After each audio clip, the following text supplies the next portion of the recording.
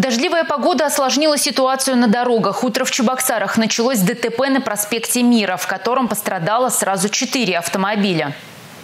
В 9.30 утра на проспекте Мира у дома номер 3 столкнулись сразу три автомобиля и автобус. Предварительная версия. Водитель автобуса, не соблюдая дистанцию до движущегося впереди транспортного средства, совершил столкновение с автомобилем ГАЗ, который по инерции совершил столкновение с автомобилем Toyota Land Cruiser, тот в свою очередь э, с автомобилем